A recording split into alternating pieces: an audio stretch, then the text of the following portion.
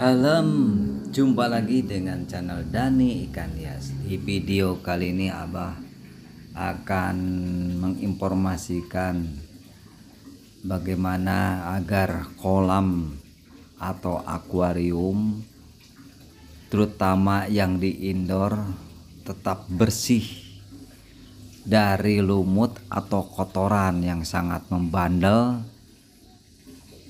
tanpa bersusah-susah payah untuk membersihkan kaca ya utamanya kaca.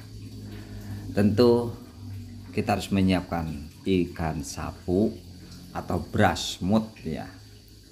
Nah ikan bra, ikan brasmut ini atau ikan sapu ini tentu kalau ingin bekerja secara maksimal tentu harus diperlakukan sebagaimana layaknya ikan hias yang lain. Walaupun ikan sapu atau brasmut ini termasuk ikan yang kuat ya. Jangankan di air tawar yang jernih. Di air sungai yang banyak mengandung zat kimia hidup. Tetapi dalam hal budidaya sama dengan ikannya hias yang lain harus diperlakukan dengan baik agar tidak terjadi stres dan akhirnya mati. Walaupun harganya tidak seberapa tapi fungsinya ini yang sangat luar biasa. Nah gini kolam atau akuarium sudah disiapkan di sini sudah disiapkan rumpon-rumponnya ya.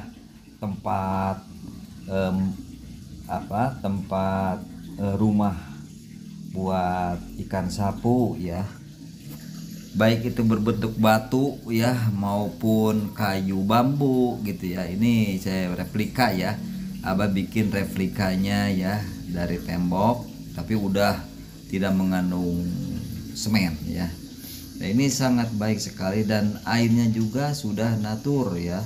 Jangan langsung dicemplungin kalau belum natur.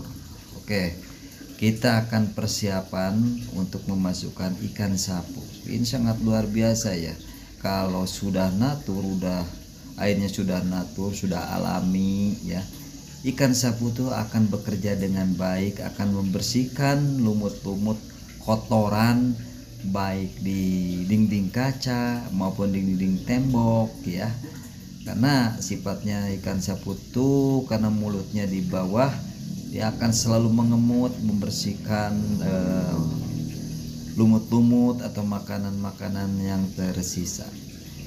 Kalau ke airnya sudah natural masuk masuk masukin aja.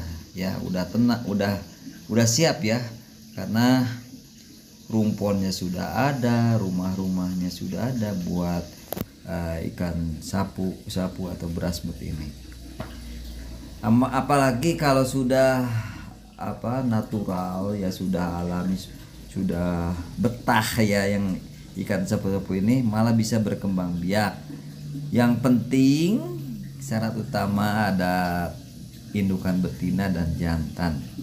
Bikin aja rumah-rumahan ya baik dari potongan bambu paralon ya. Nanti akan beranak ya Uh, tentu kalau ikan sapu yang besar itu kalau sudah besar dibuang saja ya. Jangan dipelihara karena akan merusak ke tembokan ya. Ke tembokan dia akan kalau ada lubang dia akan uh, akan melubangi ya tembokan itu.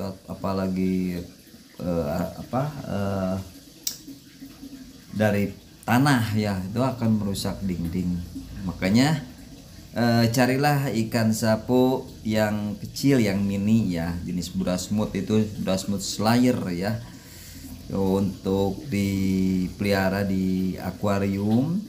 Nanti double keuntungan selain kaca atau akuarium bersih ya dari lumut juga kita bisa menjual anakan ikan brasmutnya memang agak lumayan mahal ya untuk indukannya uh, tapi kalau toh kita udah yakin bisa membudidaya beli aja indukan.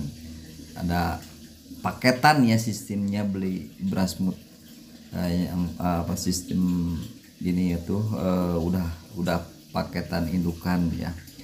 Tapi kalau ini ya dari kecil ikan kecil aja nanti juga akan besar. Harganya kisaran ya 10 ribuan lah untuk ukuran sekitar 10 apa eh, sekitar 7 sampai 10 sentian ya. Demikian terima kasih yang telah menonton. Mudah-mudahan terinspirasi